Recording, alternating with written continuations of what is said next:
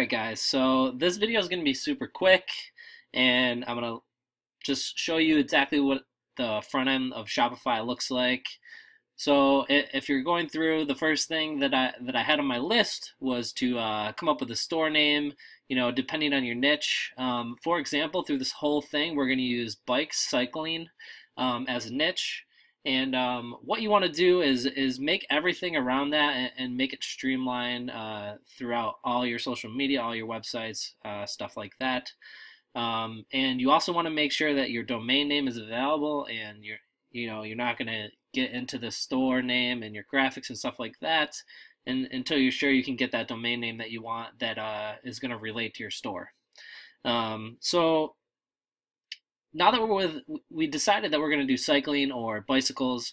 You want to have one of those two in your domain name if possible. So the the example I came up with was Bike Werx. Um, obviously W E R X, you know, totally random and misspelled, but um, I felt like it could be flipped into a brand. So um, we we're gonna go with Bike Werx. Uh, this is the login. There's a link below on how to get the 14 day trial. So click there if you want to go with me. Um, it should be the first link in the description below, and, uh, and I'll do a pop up here. Um, but uh, click the link. You're going to go here. This is going to sign you up for free.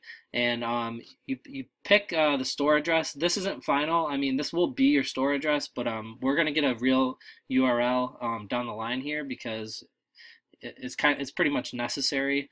And then you just put your email and your password in, and then um, you're going to log in.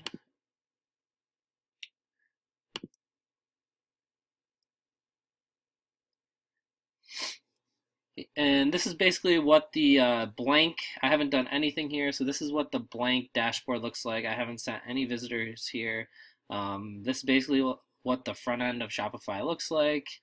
And yeah, so the next video, um, I'm going to go into how to set up uh, a basic theme with the graphics and stuff like that. And uh, yeah, we'll see you there.